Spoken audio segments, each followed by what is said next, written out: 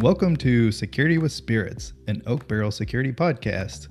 I'm Jason. This is Ben. Jonathan. And Tony, we'll tell you what to drink while we tell you why we drink. Hey, everybody, and welcome to the podcast.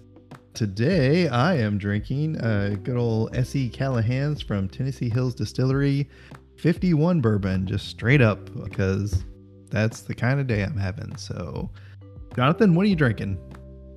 The same thing, except I've mixed it with club soda and a little bit of lemon, so I've got a whiskey soda going. Oh, well, to be fair, I, I put ice in there. So, Yeah, yeah. obviously. Yeah. Stay hydrated. That's right. Ben, what do you got?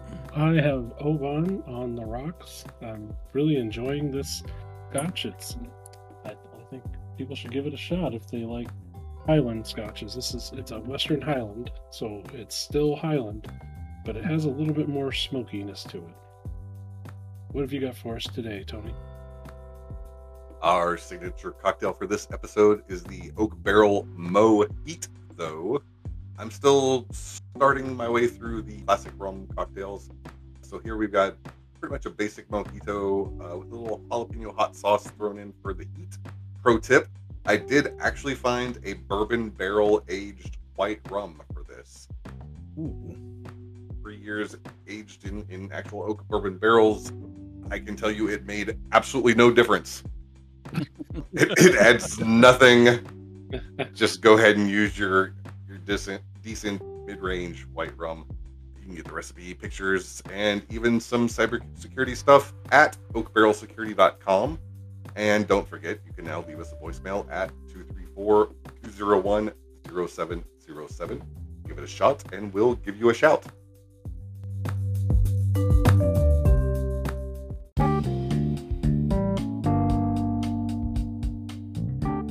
Awesome. Well, that sounds tasty. And tonight on the uh as far as the the speaking topic, we have being frustrated with the exciting reality of having a job that you can never actually master. I'm sure there are other jobs out there that that run into the similar roadblocks or, or issues like this, but we're going to keep this cybersecurity focused. I know for myself, it is insanely frustrating to to never to know that you're never ever going to complete something. It's always going to be there's always new things out there. There's always new threats. There's there's new you know it's it there's always something that's going to to change the landscape. And, and you can look at it as a as a frustrating thing or as something that you know you can look at it as a challenge. It's glass half full glass half empty type thing Ben, kind of what are your what are your what do you think like as far as like the like how do you address this as a half full, half empty kind of guy? What, what what's your perspective? I have uh, some I've given this a lot of thought. Several years ago, I watched a movie called Jiro Dreams of Sushi. And if you've ever seen, I think it's called Chef's Table, and they're kind of this, I would call super produced, I guess, super produced specials on chefs and their restaurants and their Michelin journey and all this, and it goes into like their personal lives and stuff. This movie is kind of the what springboarded that that series. And one of the things that he discusses in there, like when he's he's been making sushi for decades. And he each time he tries to make a sushi it makes that makes it or, or prepares it or anything, he tries to do it, make sure he's doing it better each time.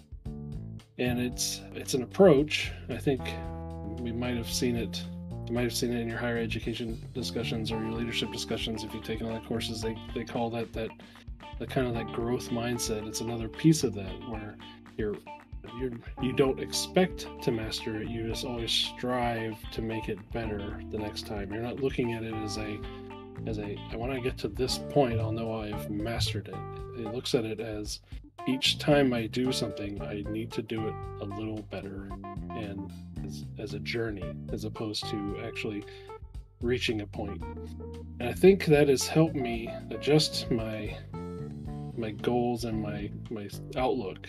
In in how I approach my job and how I do things is because I use a methodology of learning and and doing to make sure that each time I do something, see if I can improve it and and then do it and just make it better each additional time. So you're talking about not necessarily something like not necessarily learning from your mistakes. I mean, that can be part of it as well, but also learning from the process itself. Yes. And making sure that each time I do a process, is it the correct process? Should I improve this process? Is there improvement to be had? And just keep making baby steps and improvement without ever having the expectation that I'll have it exactly right one day. Yeah, it's it's it's a journey, not a, a destination, right? That that's the that is the frustrating part because it doesn't matter how much you learn, how good you get. You can be the best cybersecurity person that ever cybersecurity and know all of the cybersecurity things. And tomorrow, any software vendor in the world releases a buggy update, and your life is still ruined all over again. Uh, or a new advancement in technology renders everything you've been doing useless. AI.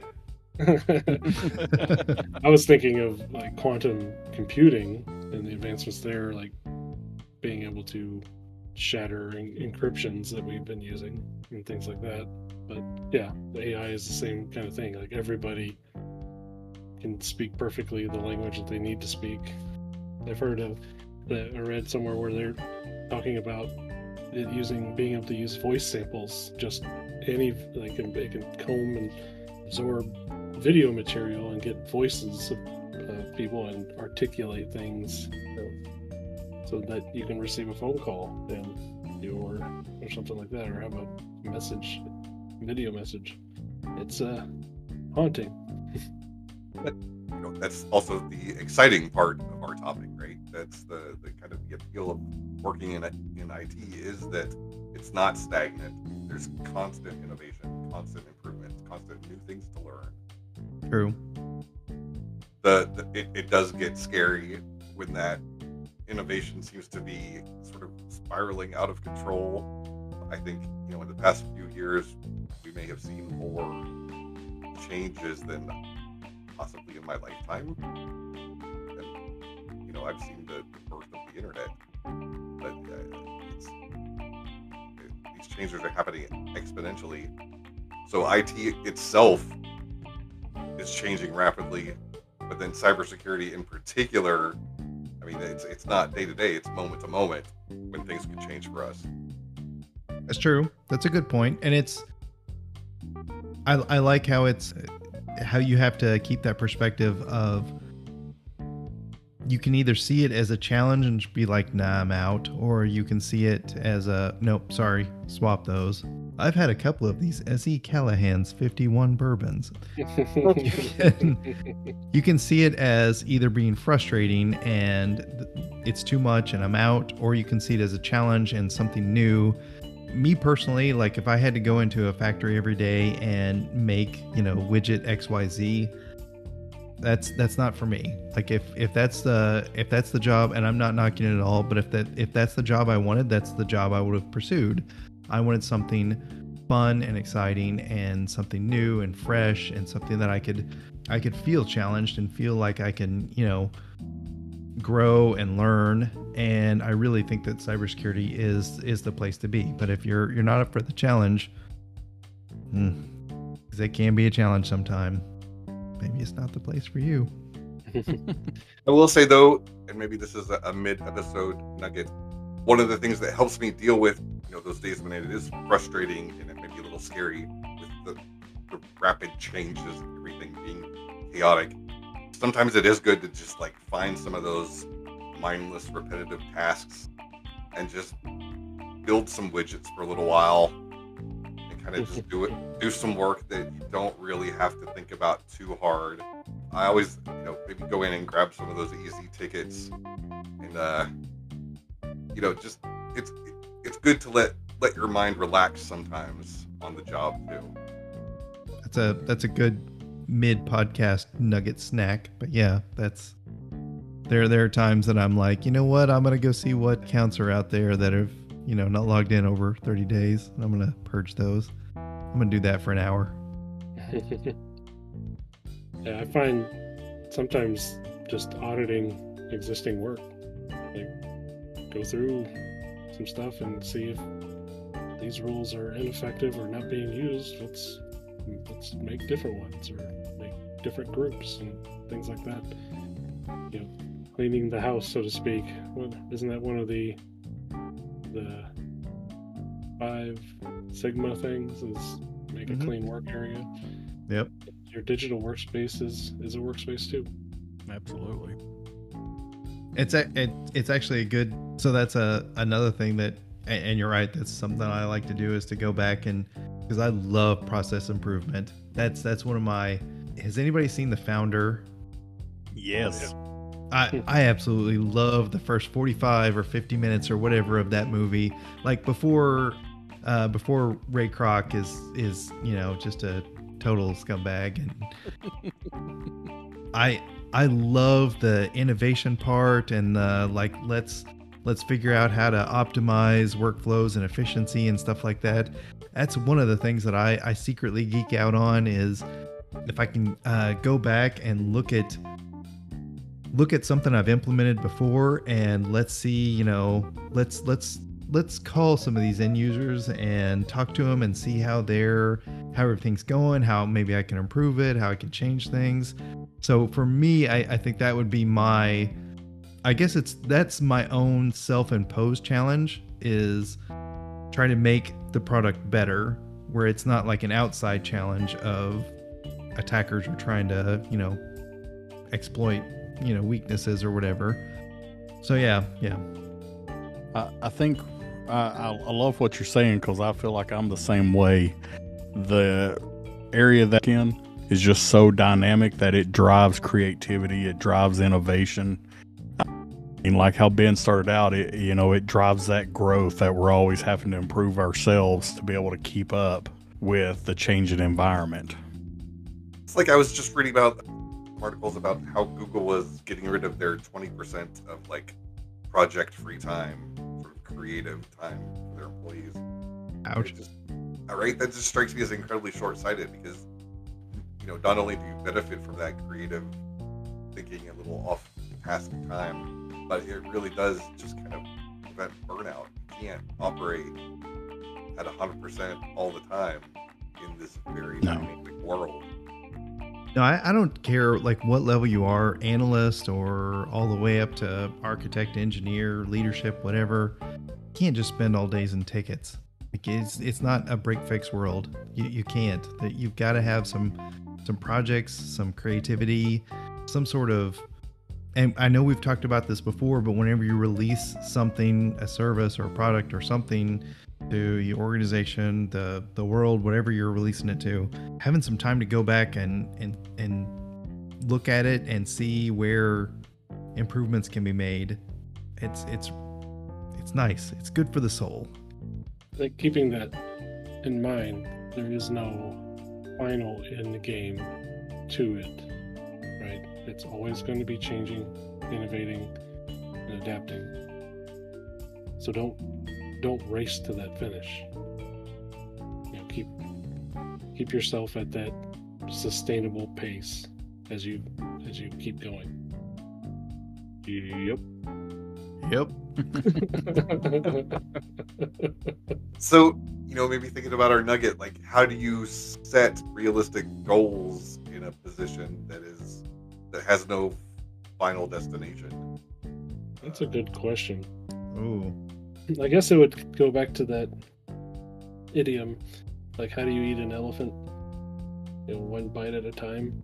And that's another thing too, like smart goals, right? That we all kind of learn about. They need to be specific, measurable, achievable, realistic, and time based.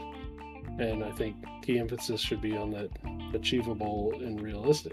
Like uh, you might need to cut your your goals down to more bite-sized chunks so that make sure that you aren't setting yourself up for failure or to, to not achieve what you're looking for.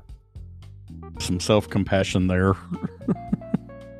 But I also, I mean, I'm a, I'm very task oriented, and it is so nice to be able to strike something off a list or move it in my Kanban board from, you know, in progress to complete. Or I think keeping, like, you can have a lot of little goals that keeps you motivated and keeps you moving forward but you still have to have that that mindset in the background of always improving always looking for efficiencies and and it, and just keep keep everything improving. It's the wisdom of many many drinks. Me down. To keep on moving. also whenever you said how do you eat an elephant i i really restrained myself from not saying ass first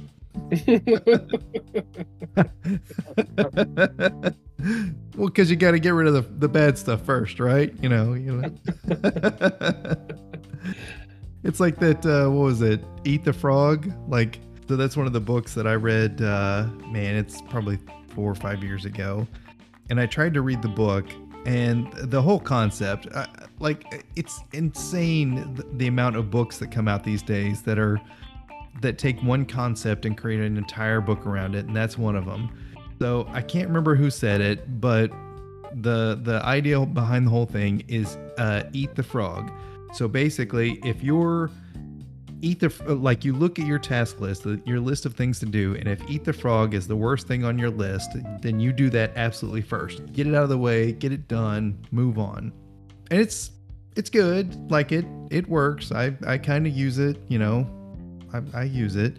But the book, oh man, and the audiobook is even worse. Like the guy is like trying to have this like weird Casey Kasem voice, and he's like, always remember to eat that frog. I'm like, oh god, like this is terrible. I, I couldn't listen to the I bought the book and I bought the audiobook and I haven't completed either one. So I guess I didn't eat the frog when it come to that book. So I didn't eat that frog when it came to that book. this is Casey Kasem telling you to eat that frog. Well, so let me let me pose this question. So what so do you feel like if the if there's a if let's say let's say you're working as a cybersecurity professional and you're getting really frustrated that you can't actually keep on top of it, keep it mastered or whatever do you look at promotions? Do you look at like a change, but not necessarily a change? Like, let's say you go to a leadership position, or let's say you go to something something along that along those lines. I don't think the challenges they definitely don't disappear. I was gonna say. So what you're saying is, if you're gonna be ineffectual, at least be better paid for it. Yep, yep, yep, yep. Eventually, yes. well, I mean, at what point? What point do you think that maybe you have, maybe you you haven't got to the point to where you've actually mastered the the. It's really kind of a weird way to put it. Maybe not master the the tasks that are coming at you because it's always always growing and always changing but maybe you have mastered the art of staying on top of it or staying ahead of the trends and you know uh, evolving with the the threat landscape and everything else at that point is it time to advance? Is it so you can train others to do that or? Because if if if you go back to like uh, if you go back to somebody like years and years ago like a year and a half ago no i'm just kidding. Um, i was a, a um, i started out at kfc first job i ever had i think pretty sure it was yeah first official job started out as uh like the basically just cleaning stuff and then once you master that, then you go up to like the the the cook's assistant or something like that, and then you master that, and you go up to cook and stuff like that. But there's not really that path in cybersecurity. You don't really. At what point can I just deep fry some chicken? That's really where I'm I'm asking. What I'm asking. But I think you. I don't think you've ever actually mastered like you you've never completed even though you don't feel like you've completed the job itself I think there's that point to where you have learned enough on the job of what to expect and how to deal with stuff and how to improve and how to, you know, change and adapt and be agile. And I think at that point is the point to where you take your next step. Like then the next step up and then you can and then you're going to rotisserie chicken. So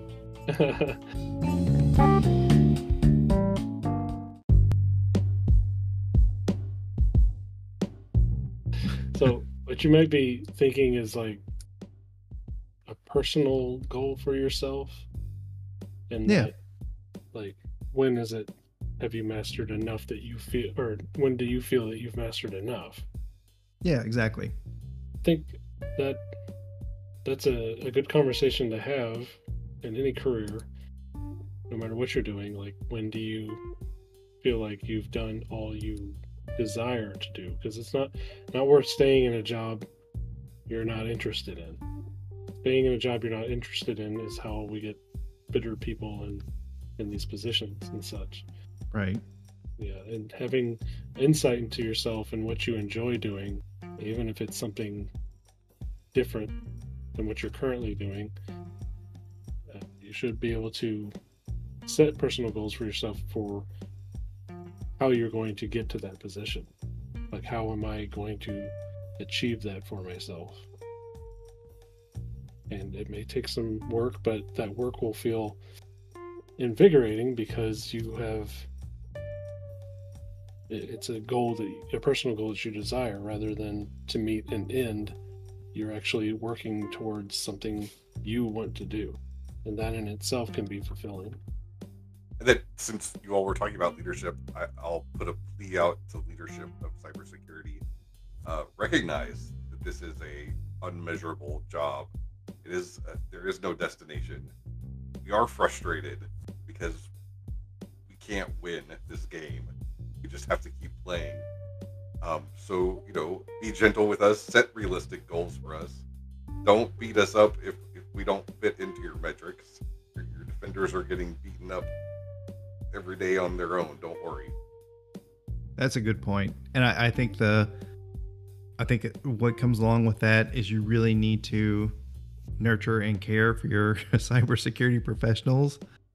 Send them to conferences, send them to training. It's it's not a job to where they are the, the education will never stop. Never. It just it there's always changes, so there's always going to be ways to grow and learn. Um, training is really good to to uh, learn new skills. Conferences are really good to network and figure out you know what other people are doing, and also to like ignite the the fire, reignite the fire because burnout happens quite often. And then also celebrate the the wins. Like there's all sorts of little things that happen that we're just like, good, you know, great, you did your job. Let's move on. And I think the the media sensationalizes the the negatives a whole lot and that's not what we should be doing. We should be celebrating you know um hooray our you know our cybersecurity awareness program has improved by doing this or our um you know we implemented a new firewall set of rules or something like that and it has blocked so many attacks or we have you know there there are so many things that you can celebrate and you have to do it and don't don't wait until because i see a lot of organizations doing this they they wait until the disaster happens and then they pump a ton of money into cybersecurity and then after that they're like well look what we've done look what we've done look what we've done. Well they should have been doing that way way before the you know the uh, exploit or breach or whatever happened. Um so yeah yeah, always always celebrate those. Always uh, continue on the training, promote that that training uh, education wherever you can. Well, everybody, we've come to the end of our podcast. We appreciate everybody for sticking around. Uh, I want to take a moment and thank our uh, cyber overlords in uh, AI for doing whatever they're doing. Um, please, please don't, please don't make our lives miserable in the future. Until next time, I am Jason. This has been Jonathan. And Tony. See y'all next time. Bye. Bye.